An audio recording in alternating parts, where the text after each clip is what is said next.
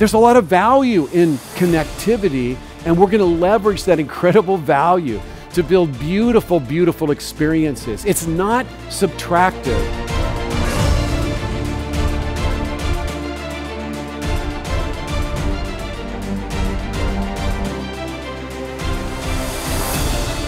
As cavemen and women, we would blow air across our larynx and form words. And then we formed languages. And then we were able to write down the language. And then we were able to type the language. And then we were able to democratize it and print the language. And for those of you who suffered through DOS, we then had to code the language. And then when Apple came out, we got to point. And then when smartphones came out, we got to thumb.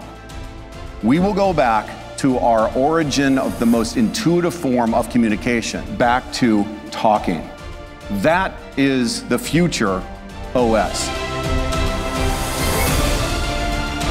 Now, I know that bad things can happen. I'll give you an example.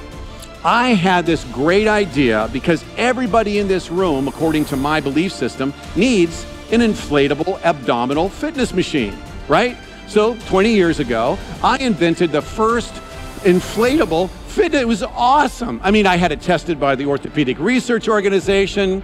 You could blow it up, and I think that's where you got most of the exercise. Now, never forget that it was a Sunday, and they had tested the infomercial for an entire week.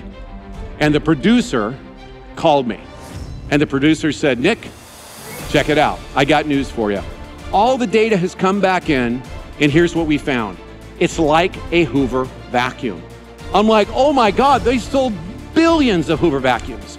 It's a no, Nick, uh, I think you misunderstand. It sucked and blew all at the same time.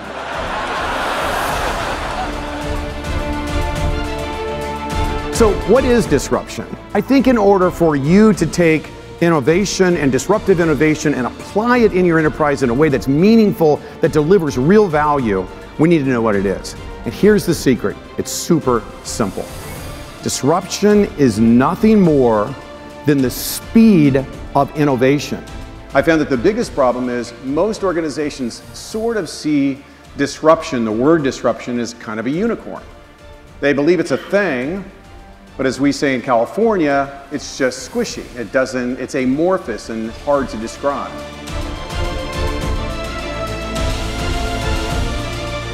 And the neat thing about it is, is that when we do this right, we improve quality of work life, we make it a more fun and interesting place for people to work. We do a far better job of gaining real actionable consumer insights, and we create more profitable, better businesses. We are using disruptive innovation to destroy lameness and replace it with something that my 13 year old daughter would call delicious. Most of us believe, I think today, that change is coming. You know, the truth of the matter is, change is here already.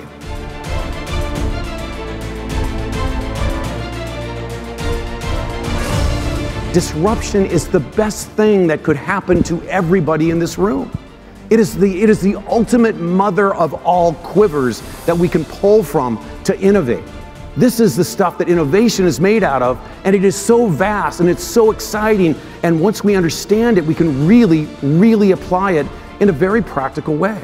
I would really be excited about, and I know that it'll be an equal and fair service to others. I love that.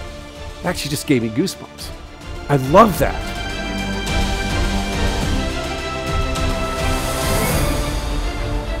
But I think that if disruption is the problem, and of course it is, then the answer is innovation.